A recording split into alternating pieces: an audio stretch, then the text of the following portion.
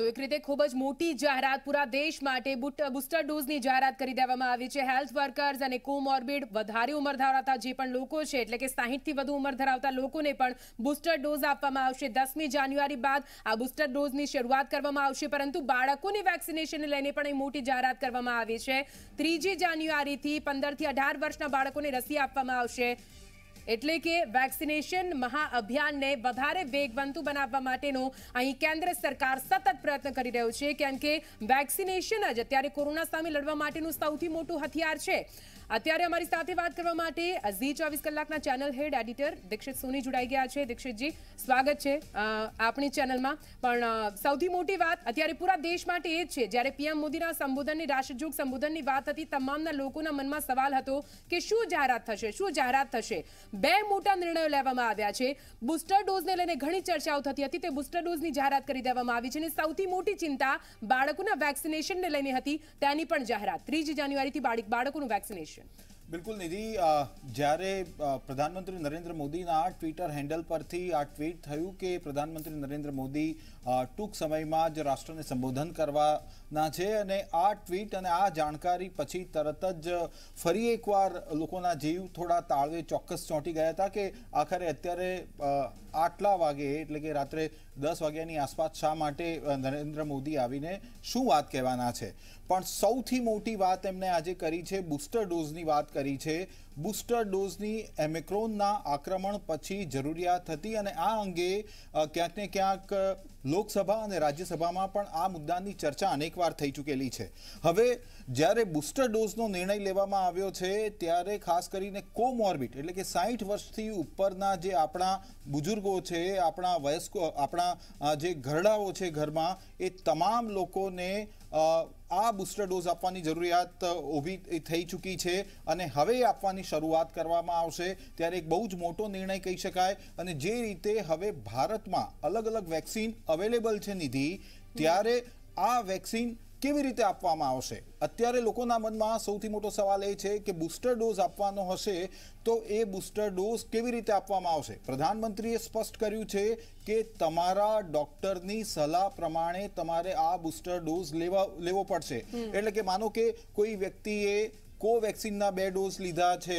તો એ બીજી કોઈ વેક્સિનનો બુસ્ટર ડોઝ લઈ શકશે? એક આ એક કોમન સવાલ છે જે આવનારા સમયમાં આપણે ડોક્ટર સાથે ચર્ચા કરીશું ત્યારે પણ આ સવાલનો જવાબ આપણા દર્શકોને મળે એના માટેનો આપણે ચોક્કસ પ્રયત્ન કરીશું. અને સૌથી મોટી વાત એ કહી શકાય કે બાળકો માટે એટલે કે પંદરથી અઢાર વર્ષના ની ઉંમરના બાળકોને પણ વેક્સિન આપવામાં આવશે.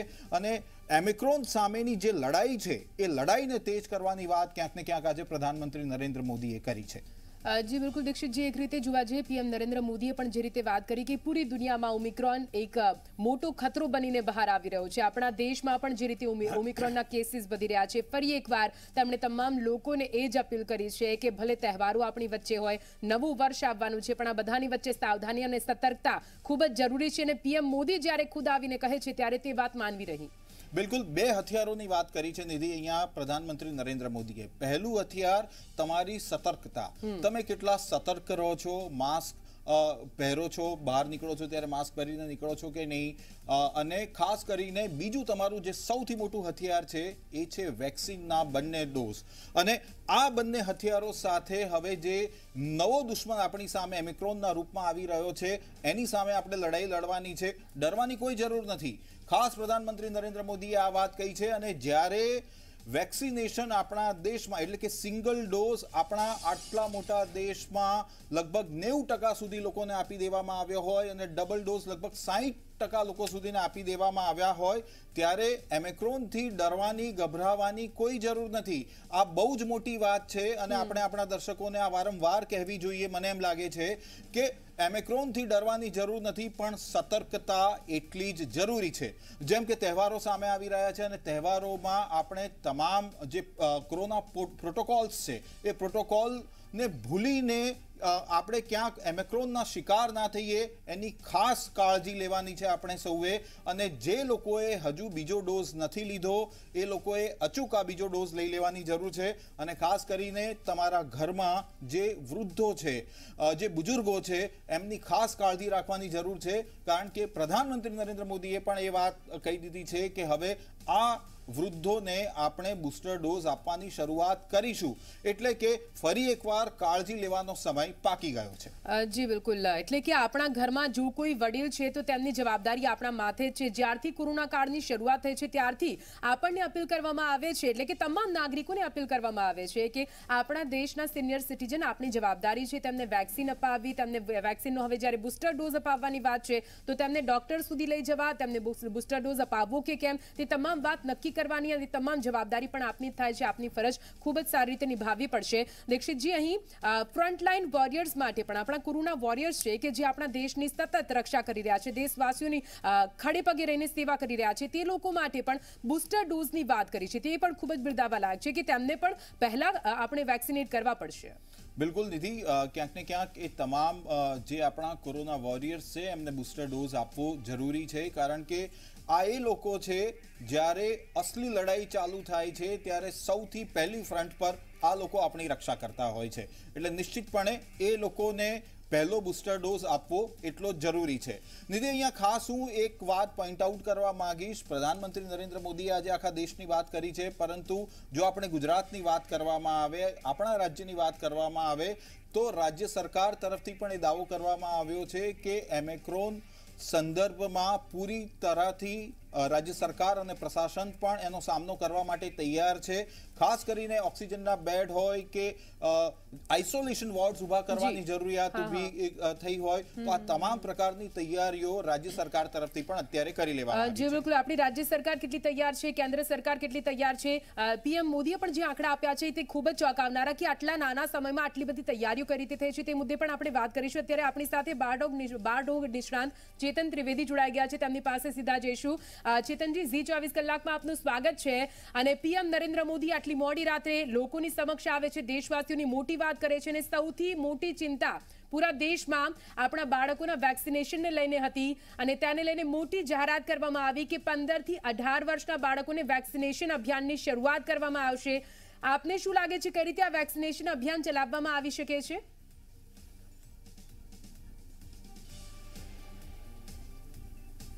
હેલો જી ચેતનજી હેલો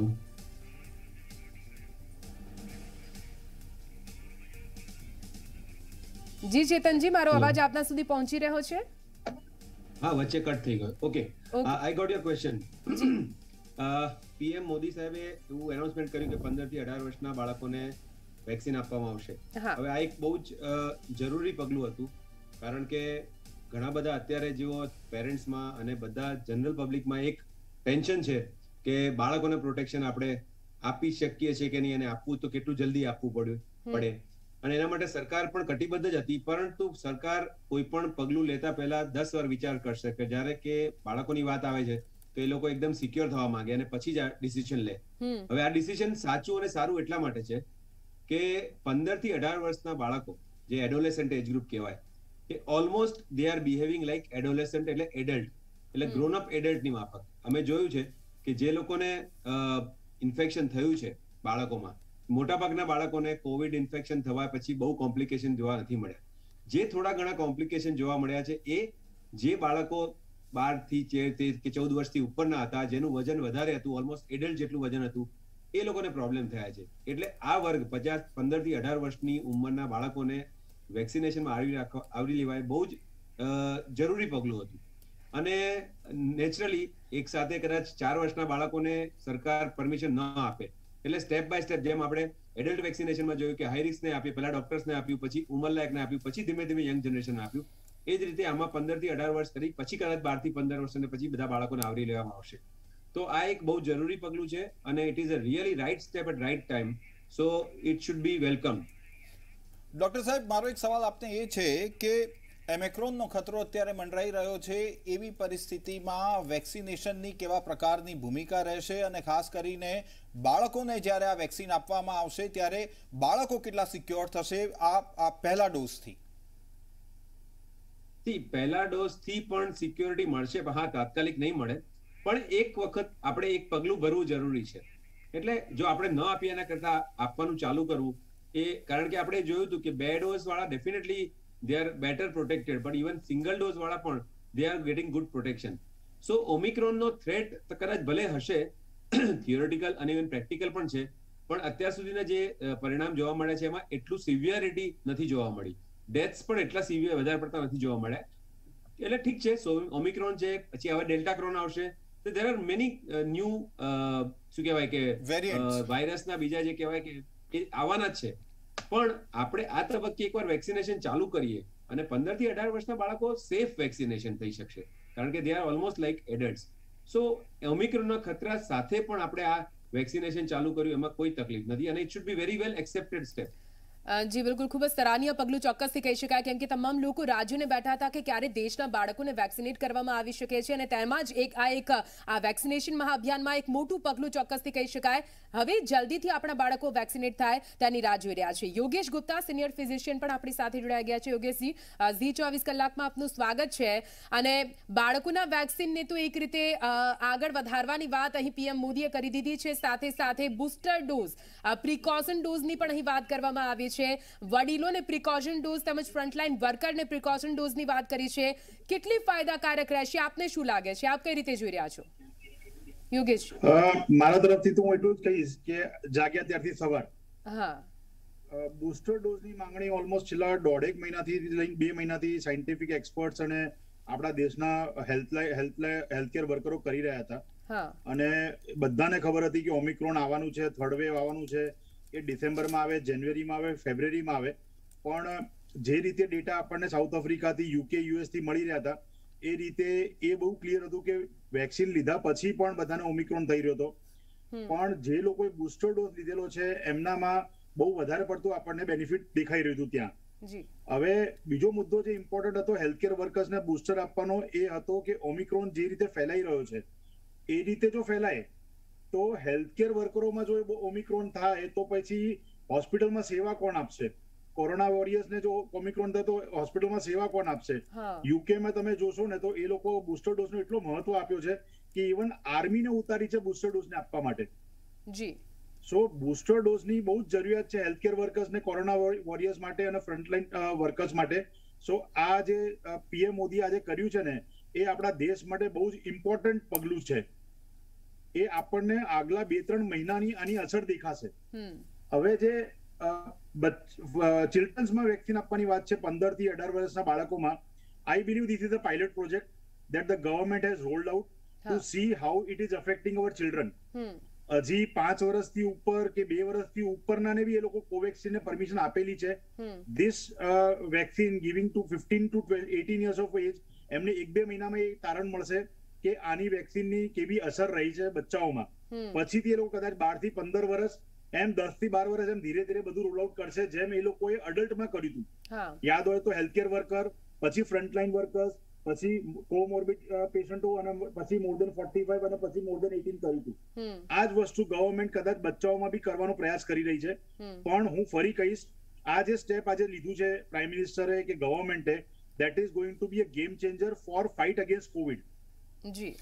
મારો એક સવાલ ડોક્ટર સાહેબ આપને એ છે કે અત્યારે લોકોના મનમાં ઘણા બધા સવાલો ઊભા થતા હશે કે જે લોકોએ બે ડોઝ વેક્સિનના લઈ લીધા છે તો શું આ જે બુસ્ટર ડોઝ છે એ બુસ્ટર ડોઝ બીજી કોઈ વેક્સિનનો આપી શકાય? માનો કે કોઈએ એક વેક્સિન લીધેલી છે તો હવે એને ક્રોસ વેક્સિનેશન જેને આપણે મેડિકલ લેંગ્વેજમાં કહીએ છીએ તો ક્રોસ વેક્સિનેશન બુસ્ટર ડોઝમાં શક્ય બનશે ખરું? કોમોર્બિડ અને વૃદ્ધો માટે. અત્યારે એ જે સવાલ છે ક્રોસ વેક્સિન વાળો એ ઓલમોસ્ટ આખું વર્લ્ડ સ્ટડી કરી રહ્યું છે.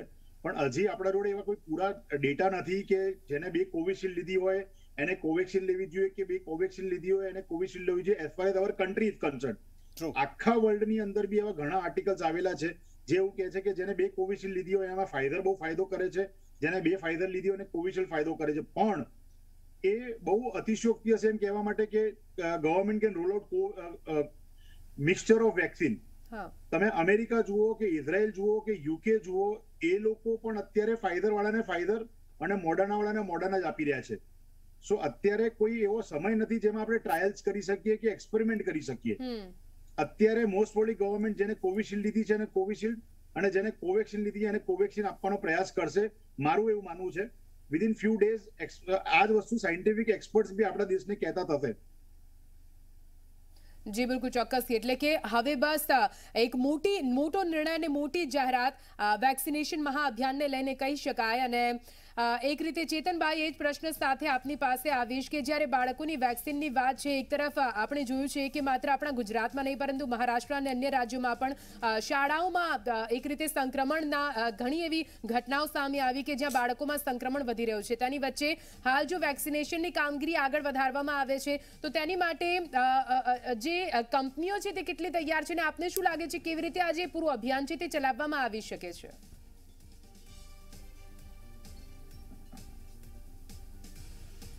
આ બહુ સરળ છે.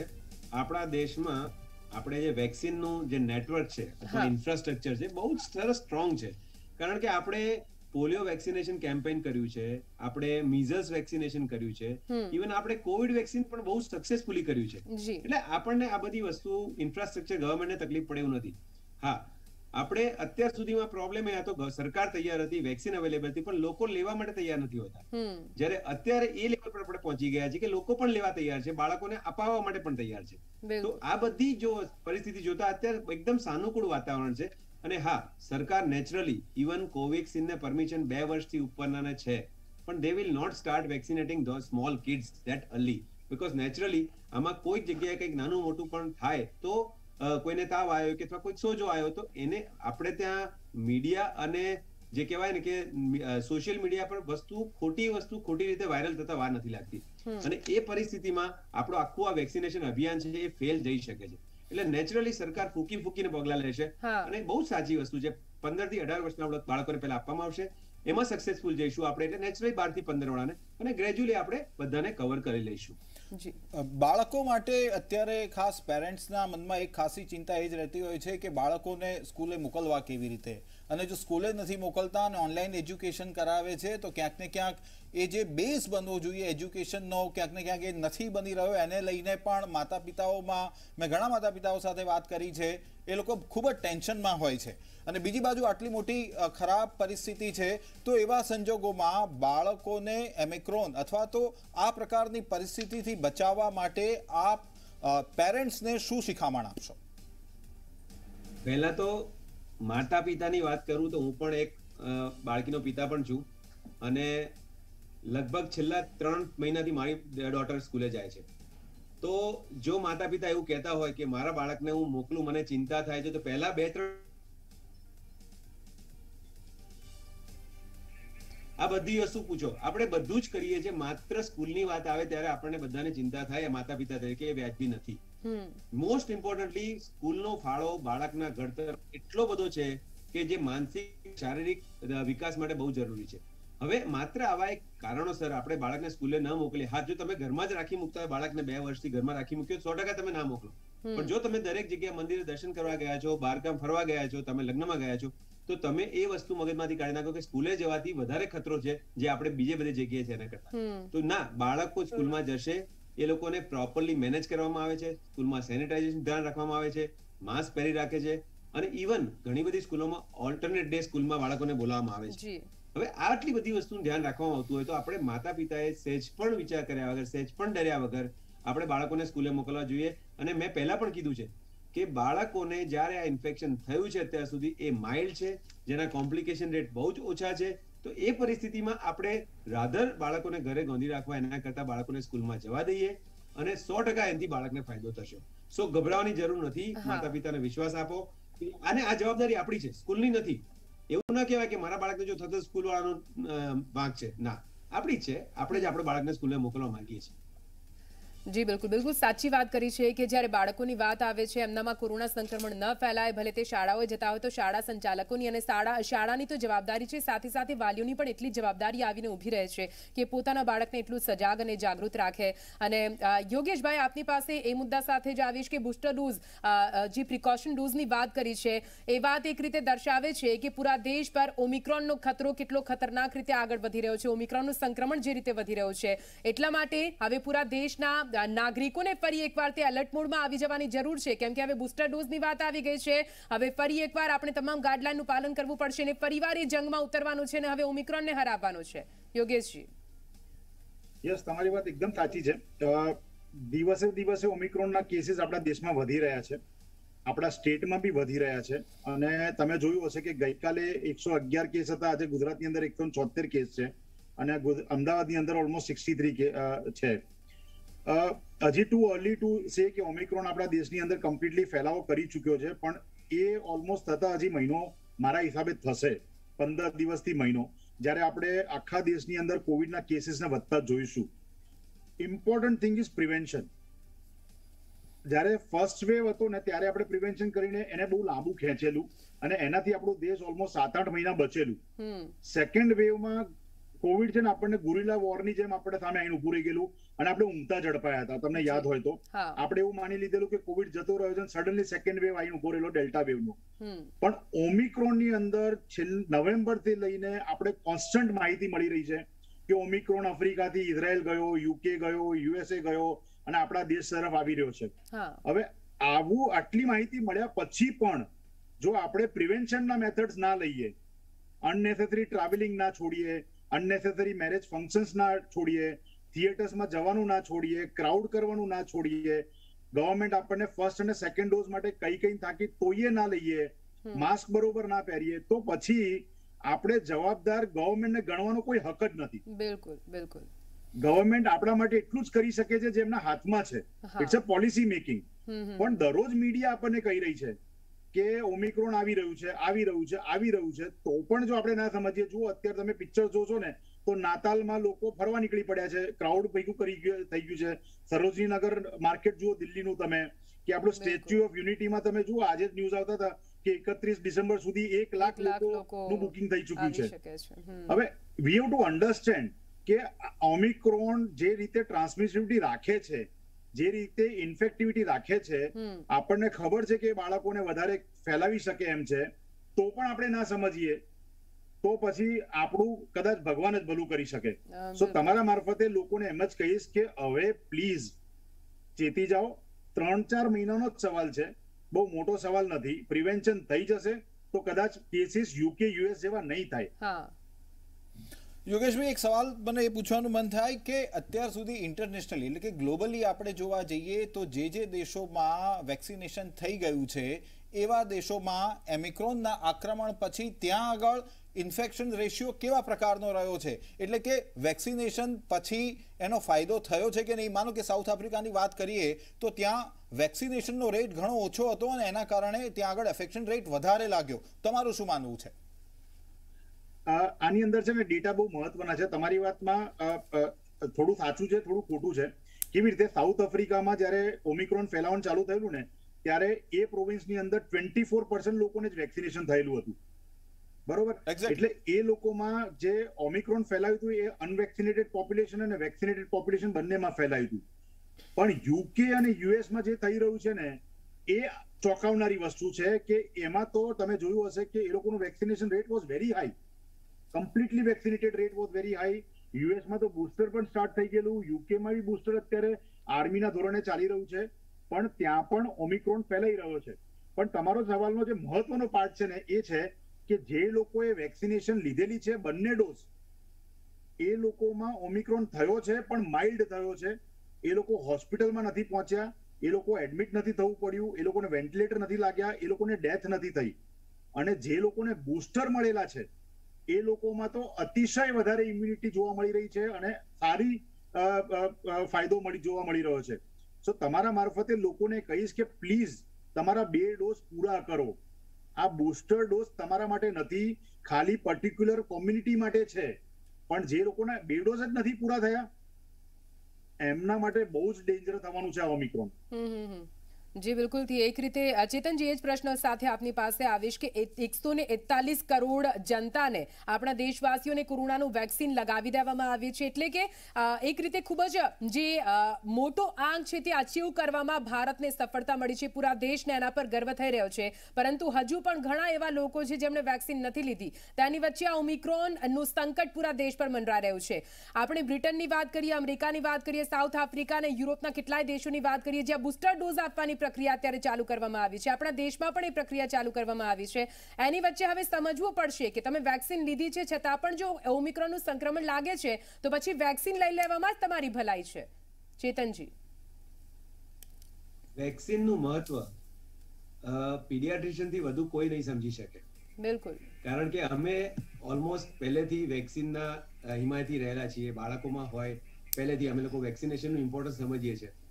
એટલે એક સરળ વસ્તુ છે કે વેક્સિનેશન એક એવું હથિયાર છે કે જે એક જ અત્યારે એને રોકવા માટે આપણી પાસે અધર ધેન એસએમએસ મતલબ સોશિયલ ડિસ્ટન્સિંગ માસ્કિંગ અને સેનિટાઇઝેશનથી વધારાનું છે. અને અત્યાર સુધી આપણે જોયું છે કે ઇવન ડોક્ટર્સની વાત કરીએ first વેવમાં we have lost many of our colleagues કેટલા બધા ડોક્ટર્સ અમે ગુમાવ્યા છે. એ જ ડોક્ટર્સને સરકારે પહેલા વેક્સિનેશન આપી અને પ્રોટેક્ટ કર્યા અને સેકન્ડ વેવમાં અમે જોયું કે ઘણો બધો આંકડો ઓછો થઈ ગયો. સો ધેટ હેલ્થકેર વર્કર્સ અને doctors they safeguarded with vaccine so વેક્સિનની આથી વધારે પ્રૂફ ઇફેક્ટિવ હોવાની તમને ક્યાં મળવાની હતી? તમને હા વેક્સિનેશન લીધું છે, તમને ઇન્ફેક્શન થઈ શકે છે. સો ધેટ દેટ મીન્સ કે તમે એ ગાર્ડ ડાઉન ન કરી શકો.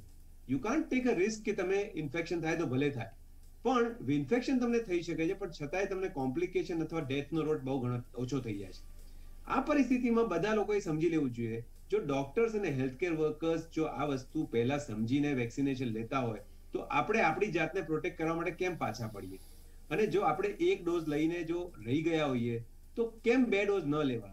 અને બે ડોઝથી આપણને હંડ્રેડ પર્સન્ટ મતલબ આપણે બંને એટલા એટલીસ્ટ હંડ્રેડ પર્સન્ટ દરેક કોઈ પણ વેક્સિનેશનની ઓલમોસ્ટ હંડ્રેડ પર્સન્ટ ડેથ સામે પ્રોટેક્શન મળે છે. તો વેક્સિનેશનનું ઇમ્પોર્ટન્સ બહુ છે. We have to complete both the dose booster dose કદાચ હેલ્થ વર્કર માટે જ છે. બુસ્ટર બુસ્ટર ડોઝના પણ ઘણા ક્વેશ્ચન્સ છે કે સેમ વેક્સિન આપવી કે ચેન્જ કરવી એ બધા ક્વેશ્ચન્સ તમે સાયન્ટિફિક એક્સપર્ટ્સ પર છોડી દો. પણ અત્યારે જો તમે બે ડોઝ ના લીધા હોય તો પ્લીઝ લઈ લો. સાથે સાથે એસએમએસનું પાલન જરૂરથી કરો જેથી તમને ઇન્ફેક્શન ના લાગે. અને તમને ખબર હોવી જોઈએ કે તમારા બાળકો હજુ પ્રોટેક્ટેડ નથી. અને એમને લગાડવા વાળા આપણે જ છીએ. તો જો આપણે પ્રોટેક્ટેડ છીએ તો આપણા બાળકોને ઓટોમેટિકલી પ્રોટેક્શન મળશે. જ્યાં સુધી એ લોકોને વેક્સિનેશન નથી આપતા ત્યાં સુધી.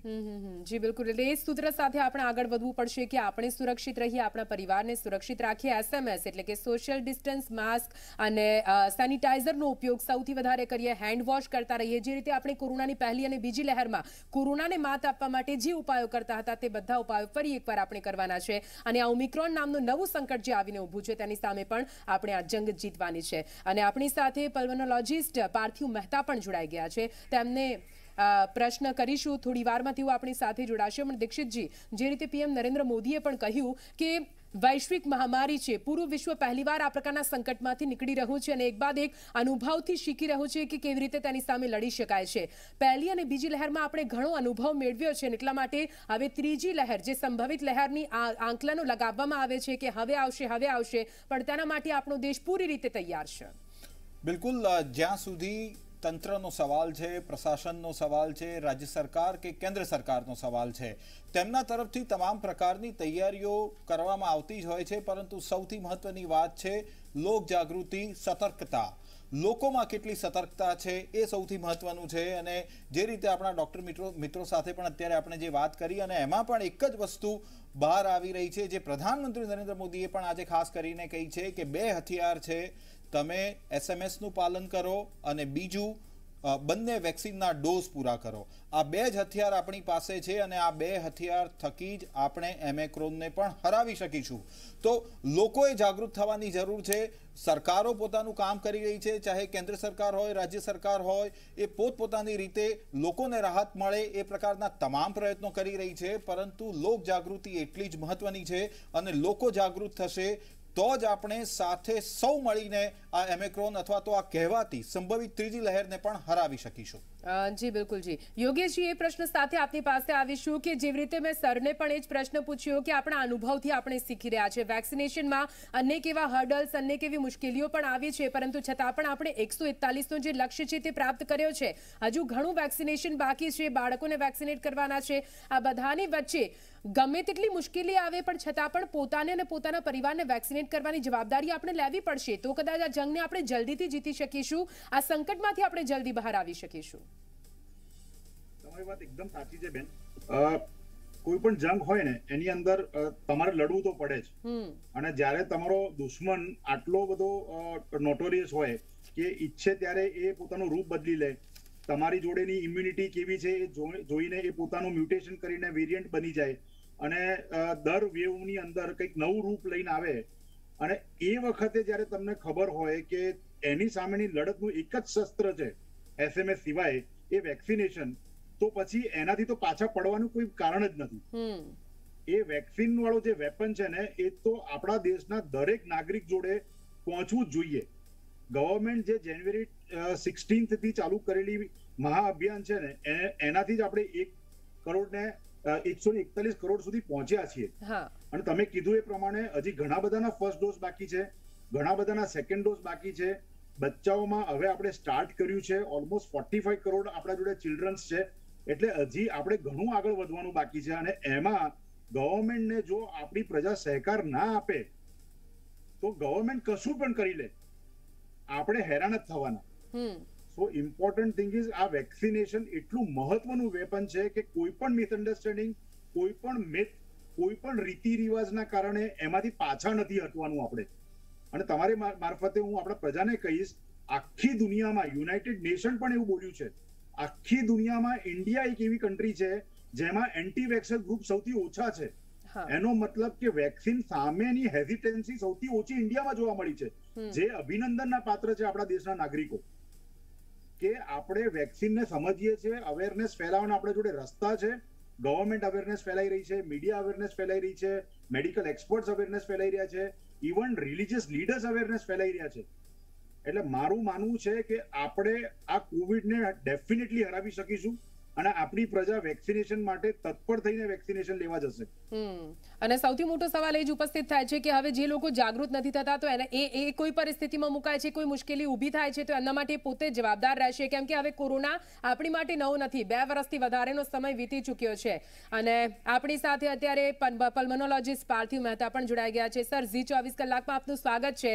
અને પીએમ નરેન્દ્ર મોદી મોડી રાત્રે અત્યારે આપણી સમક્ષ આવે છે અને રાષ્ટ્રજોગ સંબોધનમાં બે મોટા નિર્ણયો છે.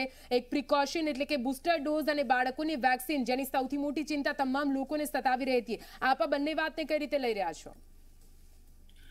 સૌથી પહેલા તો હું એવું અભિનંદન માન્ય પ્રધાનમંત્રીશ્રીને આપીશ કે પચીસમી ડિસેમ્બરની નાતાલની રાત હોય અને જ્યારે આપણે એવું વિચારતા હોઈએ કે સાન્તાક્લોઝ આવશે ભલે આપણે આપણી જે કંઈ પણ પુરાણિક પરંપરાઓની પણ વાત કરતા હોઈએ ત્યારે આવી એક મોટી ગિફ્ટ એ બાળકો માટે તો ખુશીનું એક કારણ બનશે પણ કુટુંબો માટે પણ બનશે. સૌથી મોટી વાત એ છે કે હજી પણ આપણે એ ચર્ચા કરી રહ્યા છીએ કે હર્ડ ઇમ્યુનિટી ભારતીયોની ઇમ્યુનિટી કદાચ હું પણ એમાં માનનાર ખરો કે આપણી હર્ડ ઇમ્યુનિટીને લીધે કદાચ આપણને બુસ્ટર ડોઝ ન મળે જો અમુક લોકોને હજી પહેલા બીજા ડોઝ પણ ન પહોંચી શક્યા હોય તો. પરંતુ અત્યારના જે આંકડા છે એકસો પિસ્તાલીસ કરોડ વેક્સિન વપરાઈ ચૂકી છે એકસઠ ટકા લોકોને બંને વેક્સિન લાગી ચૂકી છે. અને વિશ્વભરમાં જ્યારે એવું માનવામાં આવી રહ્યું છે કે બુસ્ટર ડોઝથી આ ઓમિક્રોનને લીધે થતા હુમલાઓની તીવ્રતા ઘટી શકે છે, ઓમિક્રોનથી થતા સંભવિત મોત ઓછા થઈ શકે છે, તો એને કારણે થઈને જો આપણે હવે કદાચ એવું વિચારીએ કે જેટલા લોકોએ પણ વેક્સિન લીધી છે ને એમને નવ મહિના થવા આવ્યા છે અને વિશ્વભર જ્યારે એમ કે છે કે બધે જ બુસ્ટર આપવું જોઈએ ત્યારે આપણે અહીંયા પણ ખૂબ બધો ગણગણાટ હતો, ખૂબ બધી ઉચાટ હતો કે વેક્સિનની બુસ્ટર ડોઝ આપણે કેમ નથી આપી રહ્યા? એટલે એ એમણે ક્લિયર કર્યું. અને હા, બાળકો માટે, એમાં પણ આપણી પાસે બાળકો માટેની ખૂબ જ એક અસરકારક એવી રસી અને વૈજ્ઞાનિક તારણો સાથે જેની આગળ, આપણી આગળ પૂરેપૂરા પરિમાણો છે કે એ કહે છે કે બાળકોમાં પણ એ ઇફેક્ટિવ છે, તો એ રસી જ્યારે આપણી આગળ તૈયાર હોય તો બાળકોને પણ એ આપવી જરૂરી છે. એટલે ખૂબ સારી વાત એ હું કહીશ એક મેડિકલ પ્રેક્ટિશનર તરીકે અને એક વૈજ્ઞાનિક તરીકે. પાર્થિવભાઈ, એક સવાલ મને એ થઈ રહ્યો છે કે બુસ્ટર ડોઝ માટે ઘણા સમયથી ઘણી બધી ચર્ચાઓ ચાલી રહી હતી અને હવે તો આપણી પાસે નંબર ઓફ વેક્સિન્સ છે. તો એવા એવા સમયમાં બુસ્ટર ડોઝની ભારતને કેટલી જરૂર હતી? જ્યારે આપણે એકસો એકતાલીસ કરોડને ડોઝ આપી ચૂક્યા છીએ, વેક્સિનેશન આપણું, વેક્સિનેશન ડ્રાઈવ વર્લ્ડમાં પણ લોકો વખાણી રહ્યા છે. એવા સંજોગોમાં બુસ્ટર ડોઝથી તમે જે હર્ડ ઇમ્યુનિટીની વાત કરી, તો હર્ડ ઇમ્યુનિટી કેટલી ડેવલપ થશે અને લોકો કેટલા સુરક્ષિત રહેશે? અને ખાસ બીજો એક સવાલ, એની સાથેનો જ સવાલ મારો તમને એ છે કે જે અલગ અલગ વેરિયન્ટ્સ સતત આપણે આ વાયરસને બહુરૂપિયો કહીએ છીએ, તો એના અલગ અલગ જે સતત વેરિયન્ટ્સ આવી રહ્યા છે, બુસ્ટર ડોઝથી એનામાં આપણને શું ફાયદો થશે? સૌથી પહેલું તો હું આપની સાથે એ મુદ્દે સંમત છું, કારણ કે હજી આપણા માટે આપણી આગળ કોઈ પણ એવો ભારતીય ડેટા નથી કે પૂરતી હર્ડ ઇમ્યુનિટી કેટલા લોકોમાં આવી છે. વેરિયેબલ ડેટા છે, પુણેની એક સ્ટડી એવું કહે છે કે ચોત્રીસથી સડસઠ ટકા લોકોમાં હર્ડ ઇમ્યુનિટી દેખાય છે. ખાસ કરીને ખૂબ વયસ્ક અને ઉંમરલાયકો જે હતા, જે હાઈ રિસ્ક ગ્રુપ છે, એમાં હર્ડ ઇમ્યુનિટીનું પ્રમાણ ખૂબ જ ઓછું જોવા મળ્યું છે. જેમને એક ઇન્ફેક્શન લાગી છે અને જેમણે એક વેક્સિન લીધી છે. એવા લોકોમાં પણ એન્ટીબોડીનું પ્રમાણ સારા એવા પ્રમાણમાં મળી ચૂકેલું છે.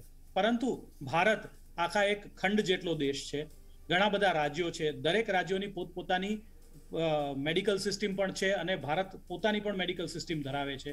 એવા સંજોગોમાં જ્યારે આપણી આગળ અત્યારે પૂરતો વૈજ્ઞાનિક ડેટા ન હોય, ત્યારે વિશ્વભરમાં જે કંઈ ચાલી રહ્યું છે, જો એની સાથે આપણે કદમ ન મિલાવીએ અને જો કમનસીબે, જે અત્યારે અમેરિકામાં થઈ રહ્યું છે, જે અત્યારે યુરોપમાં થઈ રહ્યું છે અને જે બાકીના દેશોમાં પણ થઈ ચૂક્યું છે, એવું જો અહીંયા કદાચ થાય, તો શું દેશના વડા તરીકે તમે જો ત્યાં બેઠા હો તો તમે એવું કોઈક રિસ્ક લેવા માંગશો કે હા, કદાચ થોડું ઓવરડુ ગણાય અથવા તો થોડી વધારે પડતી વેક્સિનેશન પ્રોગ્રામને આપણે આગળ વધાર્યો ગણાય.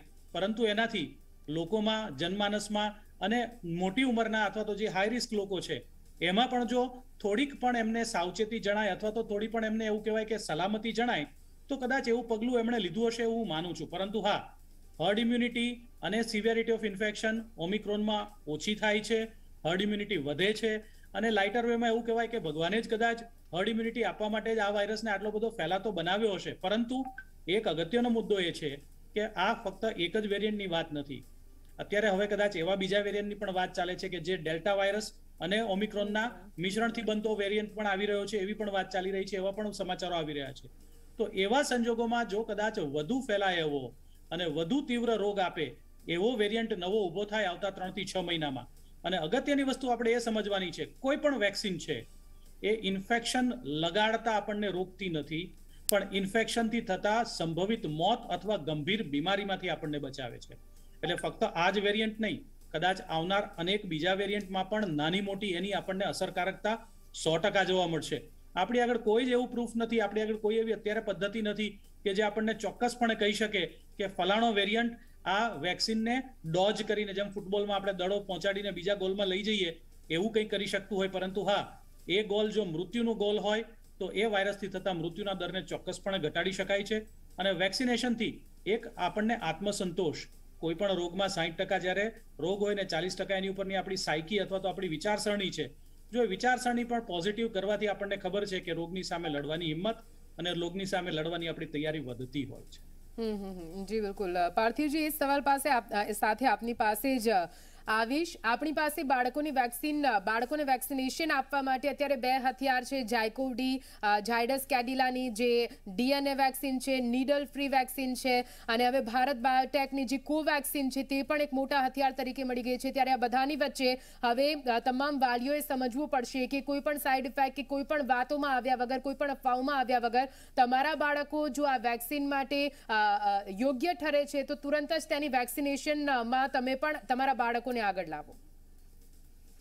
વાત આપની ખૂબ જ સાચી છે કારણ કે વેક્સિનેશનની ડ્રાઈવ ખૂબ જ એગ્રેસિવલી લેવી પડશે બાળકો માટે ખાસ કરીને. ભલે બાળકોમાં રોગની તીવ્રતા અને બાળકોનો મૃત્યુદર ખૂબ ઓછો છે પણ બાળકોમાં પણ હાઈ રિસ્ક ગ્રુપના બાળકો હોય છે. જેમને કોઈ જન્મજાત ખોડકાપણ હોય જન્મજાત કોઈ પણ રોગ હોય જેમને એમને જન્મ્યા પછી નાની ઉંમરમાં કોઈ કેન્સર જેવા રોગ થયા હોય કોઈને સ્ટીરોઇડ લેવું પડતું હોય એવા ખૂબ બધી માત્રામાં બાળકો છે. એવા બાળકો માટે ખાસ આવું વેક્સિન એક સારું શસ્ત્ર બની જશે. અને ખાસ અગત્યની વસ્તુ એ છે કે જ્યારે આપણે સગર્ભા સ્ત્રીઓને વેક્સિનેટ નથી કરી શકતા ત્યારે બાળકો જો વેક્સિનેટેડ હોય વડીલો જો વેક્સિનેટેડ હોય તો એને કારણે થઈને એમના થકી આવનાર ગંભીર રોગ અથવા તો એમના થકી થનારી તકલીફમાં પણ આપણે એક રાહત મળશે. બીજી અગત્યની વસ્તુ એ છે કે બાળકો જ્યારે પણ આવા રોગથી સંક્રમિત થશે ત્યારે એની સાથે એમના વડીલોને રાખવા પડશે. અત્યારે તકલીફ એ છે કે કોઈ નાનું બાળક હોય ગંભીર રોગી થાય તો મા બાપ વગર એ હોસ્પિટલમાં જશે નહીં. અને જ્યારે હોસ્પિટલમાં એને મોકલવું હોય ત્યારે મા બાપ અને બાળક બધા વેક્સિનેટેડ હોય તો આપણને એક એવી ધરપત રહેશે કે હવે કદાચ આ બાળક હોસ્પિટલમાં જશે પણ સો ટકા પાછું તો આવશે. આપણને એનો મૃત્યુદર પણ ઓછો થશે.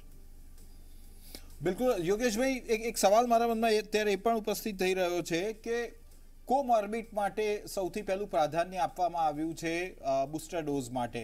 કોમોર્બિડ પેશન્ટની કેવી રીતે સાર સંભાળ રાખવી જોઈએ અને ખાસ કરીને આ જે બુસ્ટર ડોઝ છે એ બુસ્ટર ડોઝ એમને વહેલામાં વહેલી તકે અપાવી દેવો જોઈએ તો બહુ જ સ્વાભાવિક વાત છે. પણ એમની કાળજી કેવી રીતે રાખે જેમના ઘરમાં અત્યારે વડીલો છે બુજુર્ગો છે?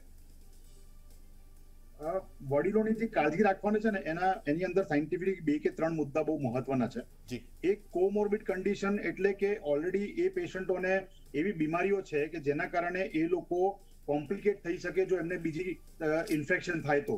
એ પછી ફ્લ્યુ હોય કે ન્યુમોનિયા હોય કે કોવિડ હોય. હવે એવા દર્દીઓ માટે ત્રણ ચાર વસ્તુ મહત્વની છે. એક, એમનું અવર જવર in marriage functions in crowded area આપણે રોકવું પડે. અત્યારે એ લોકો સેકન્ડ વેવ પત્યા પછીથી ફરી પાછા બહાર માર્કેટમાં જવા લાગવું, મંદિરોમાં જવું મેરેજ ફંક્શન અટેન્ડ કરવું, એ એમને રોકવું પડશે તાત્કાલિક ધોરણે. સેકન્ડ વસ્તુ, એમને સેકન્ડ ડોઝ જો પૂરો ના કર્યો હોય કે ફર્સ્ટ ડોઝ પૂરો ના કર્યો હોય તો પહેલા એ પૂરો કરવો જરૂરી છે. થર્ડ જ્યારે બુસ્ટર ડોઝ એમના માટે શરૂઆત થાય અને જે બી પદ્ધતિ ગવર્મેન્ટ મૂકે એ એમને કરવી પડશે. પણ મહત્વનો મુદ્દો એ છે કે વડીલોને ઇન્ફેક્શન લાગે છે કેવી રીતે? તમે ફર્સ્ટ વેવ ને સેકન્ડ વેવ જોયું હશે ને તો વડીલોને જે ઇન્ફેક્શન લાગ્યું હતું એ આપણા યંગ જનરેશનના કારણે લાગ્યું હતું. આપણે જે રીતે બહાર ફરીએ છીએ બહાર જે રીતે આપણે જઈને ક્રાઉડો એરિયામાં જઈએ છીએ માસ્ક નથી પહેરતા એસએમએસનું પાલન નથી કરતા, અને જ્યારે આપણને ઇન્ફેક્શન થાય છે ને આપણે ઘરે લઈને આવીએ છીએ, ત્યારે એ વડીલોને લાગે છે.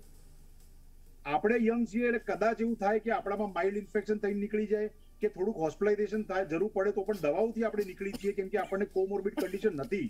પણ એમનામાં જો ઇન્ફેક્શન લાગે તો પછી બહુ જ મોટી મુસીબત થતી હોય છે. યુકે અને યુએસના જે ડેટા આવી રહ્યા છે ને, એમાં બી એવું થઈ રહ્યું છે કે દસ બાર દિવસ, ત્રણ તેર દિવસ, ચૌદ દિવસ પછીથી હોસ્પિટલાઇઝેશનના ડેટા બી વધી રહ્યા છે. વધતા વેન્ટિલેશન અને ડેથના રેશિયો બી તમે જુઓ ઇનફેક્ટ યુકેની અંદર હવે ડેથ રેટ અને હોસ્પિટલાઇઝેશન રેટ વધતો જઈ રહ્યો છે.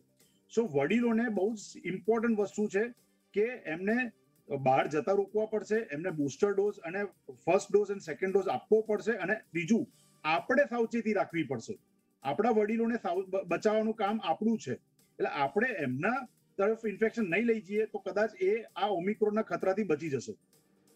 પાર્થિવભાઈ, એક સવાલ તમને પણ એ પૂછી લઈએ કે બાળકોને જે રીતે ડોક્ટર યોગેશે વાત કરી, એ રીતે બાળકોને બચાવવા માટે, આ સંક્રમણથી બચાવવા માટે આપણે ખાસ કયા પ્રકારની કાળજી લેવી જોઈએ? કારણ કે જે રીતે ડૉક્ટર સાહેબે કહ્યું એ પ્રમાણે બાળકોને સ્કૂલે મોકલવા પણ હવે જરૂરી થઈ ગયા છે અને ક્યાંક ને ક્યાંક બહાર ખતરો તો મંડરાઈ જ રહ્યો છે.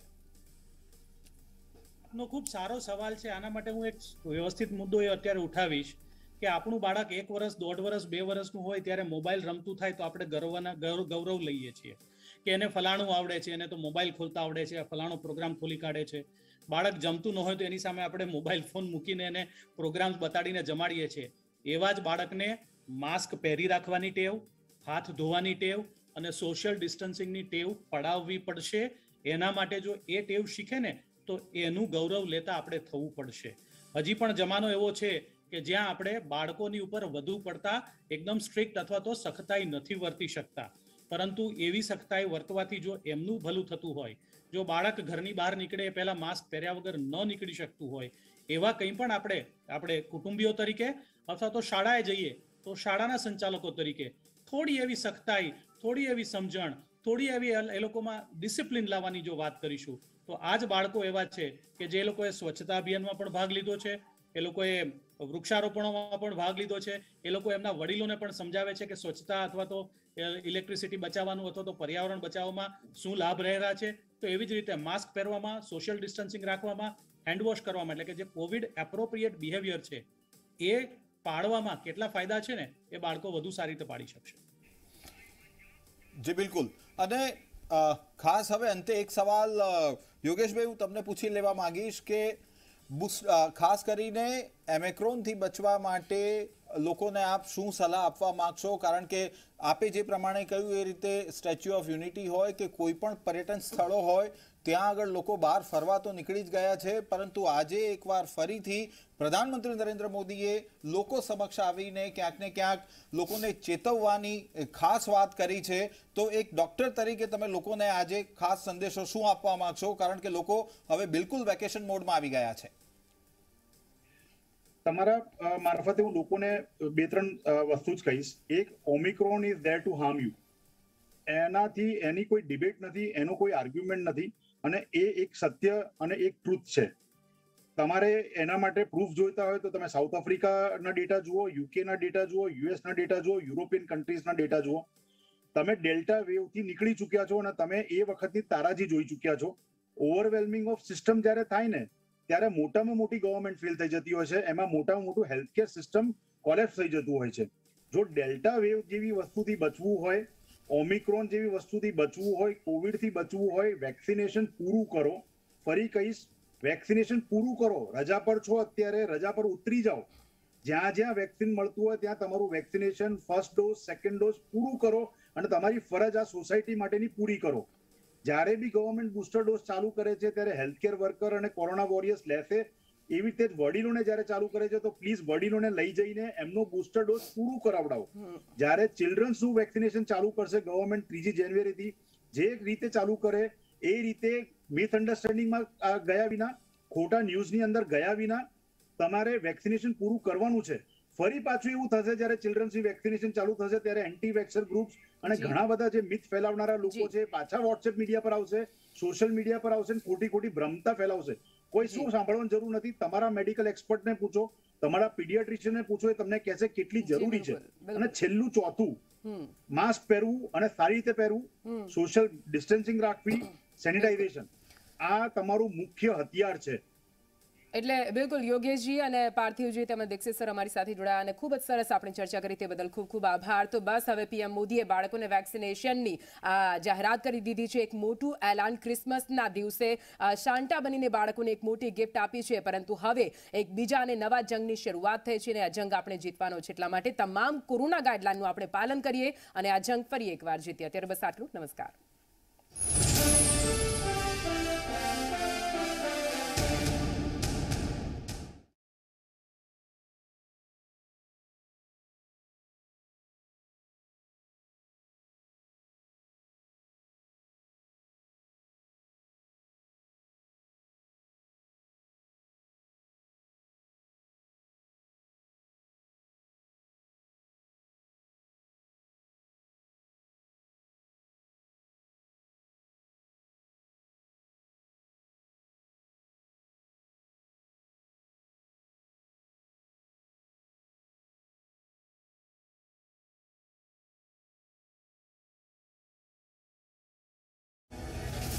ગુજરાતના મહામહિમ રાજ્યપાલ આપકા બહોત બહોત સ્વાગત છે ધન્યવાદ. બે હજાર બાવીસ પહેલાં ભૂપેન્દ્રભાઈ પટેલની સરકાર કયા ખાસ કામ કરવા માગે છે જેથી કરીને સી આર પાટીલનું જે એકસો બ્યાસી સીટનું સપનું છે એ પૂરું થાય?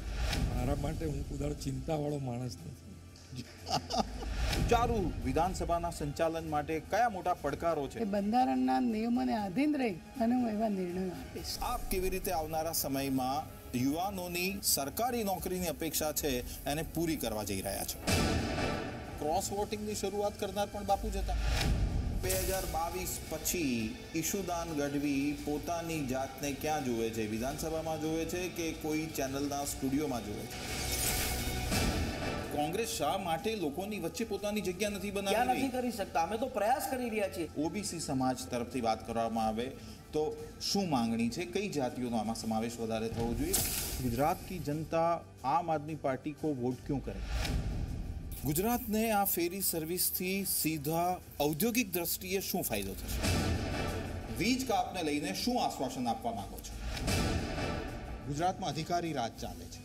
આ અધિકારી રાજની છાપને ભૂસવા માટે ભૂપેન્દ્રભાઈ શું કામ કર્યું એવું લાગી રહ્યું છે કે રાત નાની ને વેશ જાજા છે કારણ કે બે હજાર બાવીસ ઢોકળું છે અને દોઢ વર્ષનો સમયગાળો છે અને કરવાનું ઘણું બધું છે. આપ માનતા હોય અને ચેલેન્જીસ માનતા હોય હું ચેલેન્જીસ નથી માનતો. ભારતીય જનતા પાર્ટીનું નેતૃત્વ એ નક્કી કરશે કોને ક્યાં શું કરવું. કયા મુદ્દાઓ છે ભારતીય જનતા પાર્ટી જનતા સામે વોટ માંગશે?